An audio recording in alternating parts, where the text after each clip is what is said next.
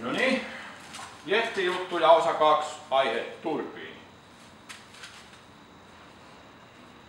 Eli ei keskitytä niinkään nyt merkkiin, vaan itse laitteeseen ja hänen sielun elämäänsä. Ja tässä on nyt se turbiini, mikä siellä pohjassa möllöttää. Se on tän näköinen pötkä. Tämmöinen laite. Pätkä putkee kolmessa osassa ohjaus, suutin, pakkikauta, potku, akselin pätkä, pari laake, muutama muoviputki. Se on siinä. No, katso. Otamme ton, mitenkä päin mä nyt se lepää. Mä jo aukasin. On sen verran vähän hapottunut, että se osiin. Siinä on ensimmäinen osa, mikä on kiinni siellä jetissä. Sitten tulee turbiiniosa ja sitten supistin, turbiinin perä, suutin, ihan nyt mikä tahansa. Tässä on itse turbiiniosa, siellä on vastasiivet ja potkurit. He pyrkii pitämään vesisuihkun suorana, kun se tulee pihalle sieltä. Niissä on tämmönen kuppi, jonkun näköinen yleensä. Eli tää on siellä jättöpuolella. Eli vesi virtaa niin kuin tonne päin. Siellä pitäisi olla öljyä, vaseliinia, jotain. Täällä ei ollut. On aivan yhtä puolella laakerit uusiksi. Kaksi laakeria yleensä, joku välikolkki. Muutaman kympin osat. Pystyy ihan kotikonteen kon, konstein vaihtamaan. Tuosta saa kiinni tässä tapauksessa kuin, kuin hyvin monesti muulloinkin. Saa kiinni ja tarvitsemme jonkun, millä tämä väännetään auki. Tästä rohkeasti vaan. Voi olla, että jaukka joutuu dynamiitin laukaseen. Se on kierteillä ja kireessä.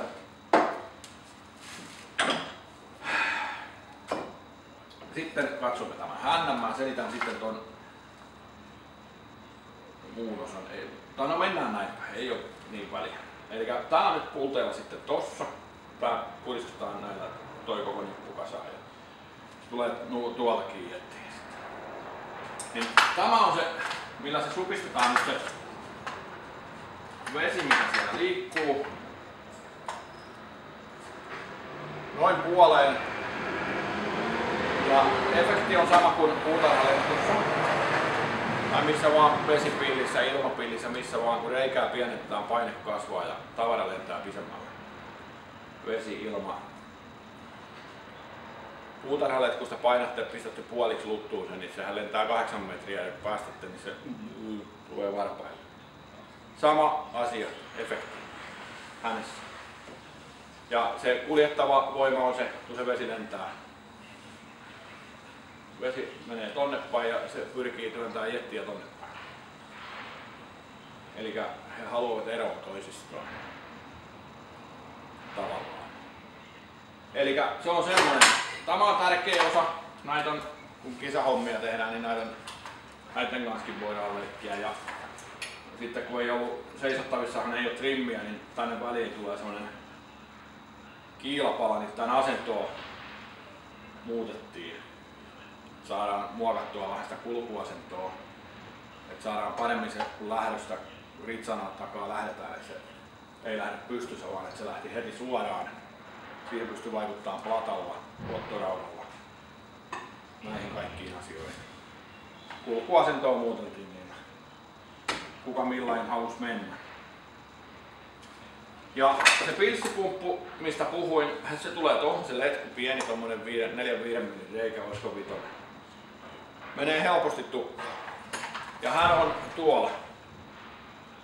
Ja kun vesi tulee putken ohi täältä tonne päin, niin sinne tulee alipaine.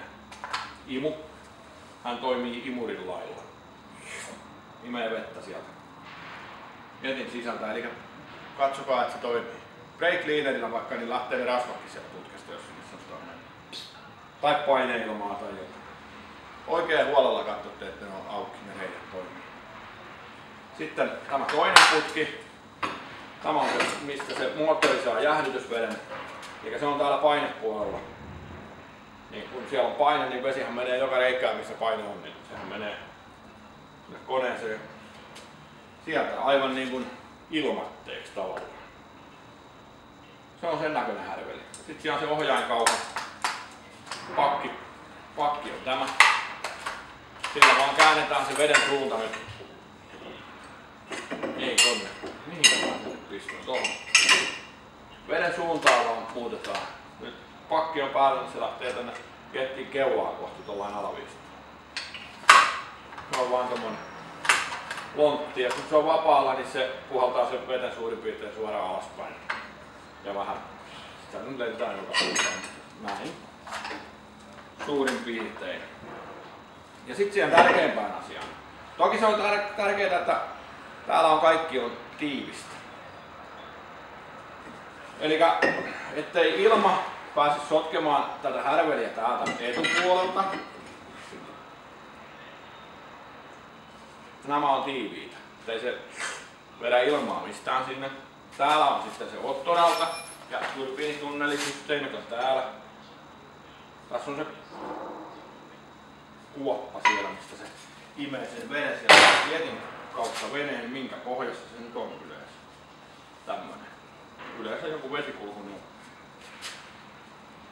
Niin tässä on nyt se, tää on se yksi tärkein, tai tärkein asia tässä laitteessa.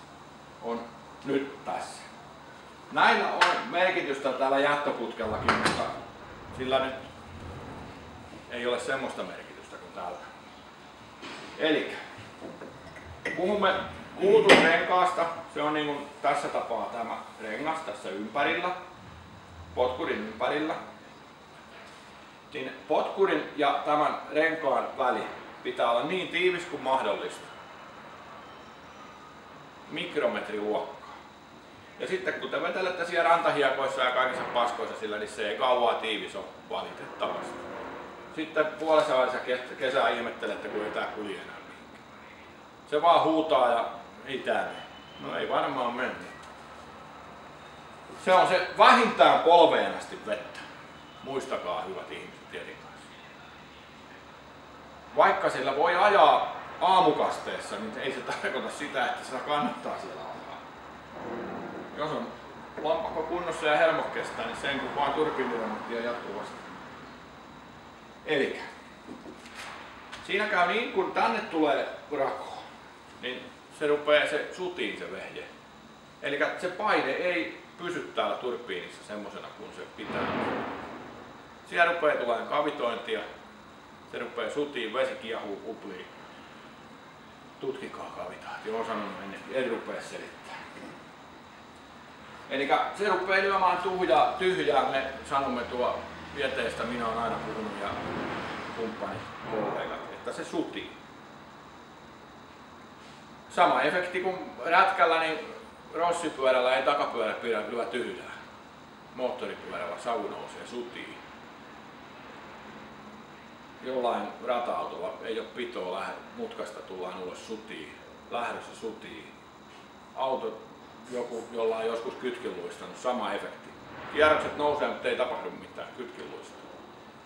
Sama asia, rupeaa lyömään tyhjää. Tekee töitä, mutta ei tapahdu mitään. Tarkistakaa. Se on hyvin helppo katsoa. Tässä on vaikea näyttää, pitäisi olla valo tuolla. Niin täältä mulla taskulla. Mä voin koittaa onnistua. Pistetään noin. Niin tämä, tää ei ole ihan viimeisen päällä, mutta tää ei ole mikään ihan paskapat vielä. Niin toivottavasti se nyt näkyy kuviin. Eli sieltä nurjalta puolelta valon kanssa näkee sen, kuinka paljon siellä sitä rakoa on, ja sitä pitäisi olla mahdollisimman vähän. Tässäkin rupeaa, no ei tää ole mikään huono vielä tää todennäköisesti vielä pelaa ihan ok. Mutta esimerkiksi kisahommaa niin ei kävis. Minä hylkäisin välittömästi. Pajotukseen menisi tämä Se on se tärkeä asia. Että se on tiivis ja että potkuri on kunnossa. Siinä ei saa olla mitään, jos tarkkoja on. Toki olen kriittinen, kun olen näillä kilpaa ajanut. Ja olen siksi kriittinen, koska minun mielestä sen pehkeen pitää toimia 99 prosenttisesti, koska aina on se 1 prosentin mahdollisuus kannattaa jossain. Tai 98 prosenttia ihan. Mutta aina on mahdollisuus kannattaa. 100 prosenttista laitetta ei. Aina voi jostain vähän parantaa. Ja sitten samoin, jos siellä on romua pyörinyt, niin kuin täälläkin, niin täällä turbiinin keskiosan näissä lavoissa, näissä kärjissäkin on jälkiä. Täältä en tiedä näettekö. Sitten varmaan vaikea näyttää sinne. Tuolta puuttuu pala. Tosta lavasta puuttuu tommonen peukalon kynnenkokoinen pala. Niin siellä on käynyt joku kivi. Mulla on esimerkiksi, muistan sen jutun, niin täys tupakkiaski melkein oli joltain punainen mallu tippunut järveen. Ja niin meni jumiin koko turbiini. Se jussähti tänne niin satana lujaa tänne väliin, että terve. Hirveä homma saatana savottaa, että saatiin se pois sieltä. Kaloja on mennyt kaiken näköistä. Ja sitten voitte, itse, voitte itsekin tarkistaa sen välillä sen vehkeen, koska kaikki mikä vedessä pyörii, koskee myös niitä perämoottoreita on kai maininnutkin asiasta. Ja sitten kun meitä on meidän kalastajia ja sinne sattuu niitä siimoja, verkon siimoja, muitakin narupätkiä, lankoja kulkeutuu sinne, niin ne kertyy tänne. Milloin mihinkäkin väliin. Tarkistakaa asia. Ja sinne voi vaikka lumpeita kertyä, kun ajatte johonkin lumpeikkoon, niin niitä on täälläkin. Katsokaa joskus sinne. Siinä voi, kun se on sammuksissa, niin kallistaa sitä vehjettä ja koittaa, tai kädellä koittaa sieltä. Sillä vesitiivillä tonnin puhelimella katsotaan se kunnossa. Sitten muistatte, että ei aita ei se malli. Öö, tämmönen nopea katsaus turbiiniasiasta.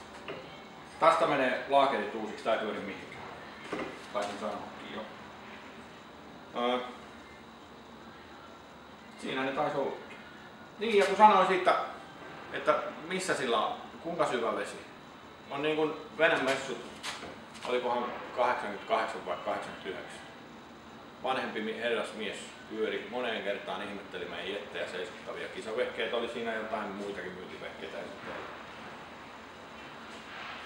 moneen kertaan ei puhunut mitään, sitten se rohkasi mielensä ja tuli kysyä multa, että kuinka syvässä lumessa tuolla pääsee.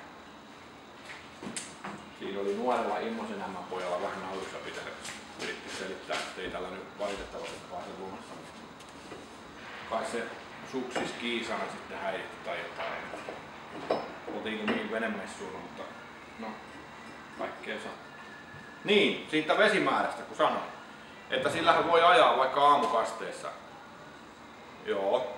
Siis laitehan ei tarvitse vettä alleen kuin sen verran, kun se on vauhdissa.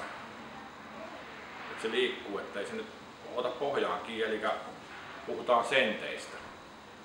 50 senttiä riittää, niin se menee. Se ei syvällä siellä ole.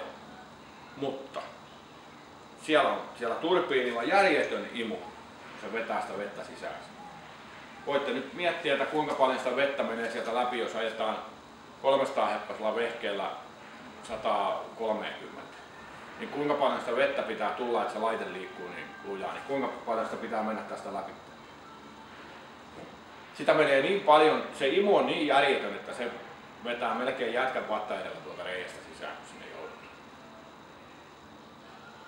Niin kun sillä ajaa matalaa veteen, niin tiedätte miten siinä käy. Se imasee sinne kaikki mikä tuosta ritilästä mahtuu sisään, niin niin menee läpi tätä helähtää. Ja sitten rupeaa hajoa paikat. Kuluu lavan käri, toi kulutusrengas.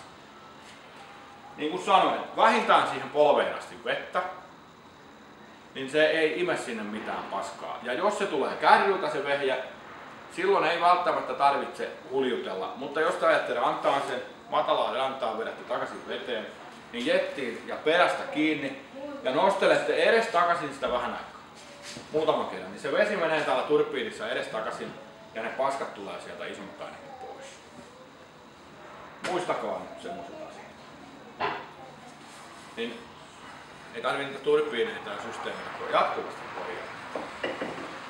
Siinä oli lyhyt oppimäärä Jetti turbiinista. Seuraavaksi katsomme Polariksen moottori. Siihen asti moro.